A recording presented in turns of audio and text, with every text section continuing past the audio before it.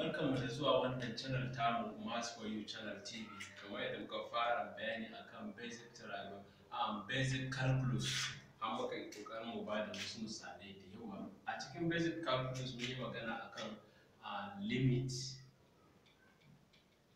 da kuma uh, continuity. Limit limit kai. Mun yi magana akan limit. Har muka ba da properties of limit da turanci. Yanzu na hausa muke muna yin bayani da hausa domin a fahimci abin da ake nufi da limit. Shi kamar yadda muka sani idan ka ga limit maybe as a as uh, x approaching a of a constant wannan abin da ake nufi da constant inda aka baka limit na constant ai ba wani abu ne kawai constant din kawai za ka mayar. Kamar misali a ba da example a ce da kai um, limit of x as x turn to let's say 3 of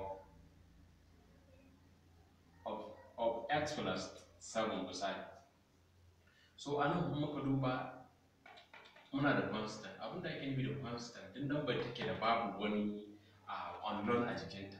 Babu wata shine abin da ake nufi kenan. Saboda in ka zo za ka ce limit x approaching 3 of x plus limit x approaching 3 of 7 to a nan kun gane mun yi ƙoƙarin mu rabu mai shigar da limit ɗin mun shigar da wannan limit ɗin kamar yadda muka shi haka. Mun shigar da shi a nan mun shigar da shi. Sai muka zo muka biya wannan limit ɗin ta gashi.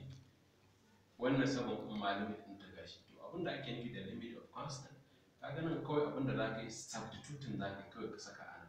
Shine zai kasance um, limit of x zai zama 3 kenan.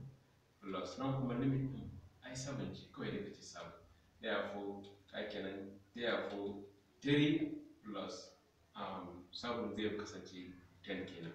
Wannan shi ake yi ƙoƙarin a nuna a properties number 1 shi ne abin da ake so ƙoƙarin da shi sannan akwai wani ma abin nan um, example da muka ba aka ce idan ka ga abin nan limit kamar haka as x tend to minus 9 for example sai aka ba da x cube minus 81x sai aka rufe bracket aka yi over.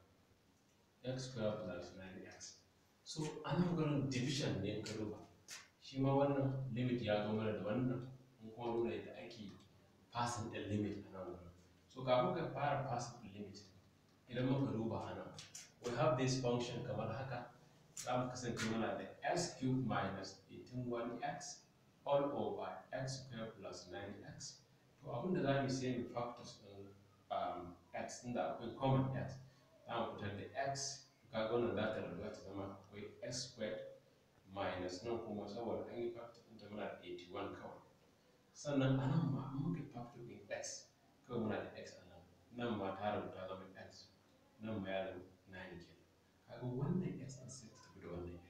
Kaga muna da ragowar um, x squared minus 81x all over x plus 9 to har yanzu ɗauka muna tafiya da limit idan muka yi passing ɗin limit a cikin wannan function muna da uh, limit as x approaching minus 9 of let's say x squared minus 81 all over x plus 9 wannan limit za mu fasa sai wannan sai perfect square. Wannan yana daidai ike da a ce um, x minus 9 bracket squares all over x plus 9 so muna tafiya da limit din kamar yadda sannan wannan kowa ya riga san lokacin da muka x minus uh, 9 bracket square daidai yake da x minus 9 2 bracket ne different of 2 square kamar yadda aka san shi. Zai zama 1 negative sakan kun kuma zai zama plus. To sai ɗauke shi sai saka kamar yadda muke da shi haka. X minus 9 1 bracket another x plus 9 sannan kun ga off kenan here over x plus 9 sai mu ga ah this one no common shi kenan sai mu passing the limit din as x approaching minus 9 9 of what? X minus 9 so kun ga limit ne a nan sai mu sassakar da limit din kamar yadda muka example din mu na baya.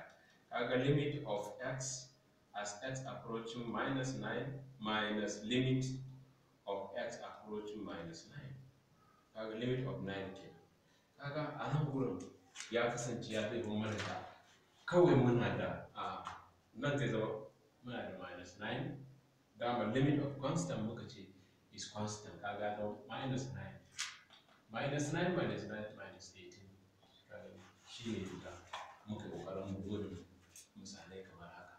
Wannan shi ne misalin da za mu bayar a wannan so thank you.